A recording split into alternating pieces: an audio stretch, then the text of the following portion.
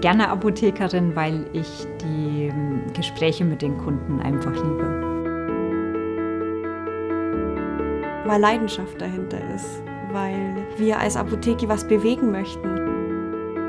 Der Weg in die Selbstständigkeit für mich war dadurch gegeben, dass ich auch eigene Entscheidungen treffen will, die man einfach als Angestellter nicht treffen kann. Ich will da mein eigener Herr sein und will meine eigenen Wege gehen.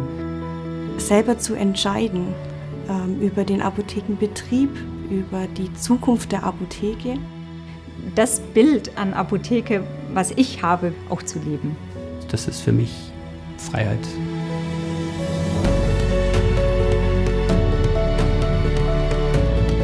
Da gibt es so einen alten Spruch, der stimmt natürlich beim Apotheker auch. Selbstständig heißt, der Chef arbeitet ständig und er arbeitet selbst. Wie das Wort schon sagt, man ist in dem Bereich schon sehr viel Stunden in einer Apotheke und äh, kann nicht um 6 Uhr nach Hause gehen, wenn einfach Ladenschluss ist. Auf der anderen Seite hat man aber auch wieder die Freiheit, sich die Zeit zu einem gewissen Maße auch selbst einzuteilen.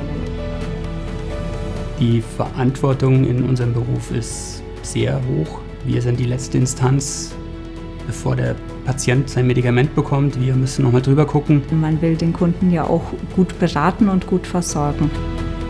Und man hat ja auch Angestellte. Man trägt auch ein finanzielles Risiko.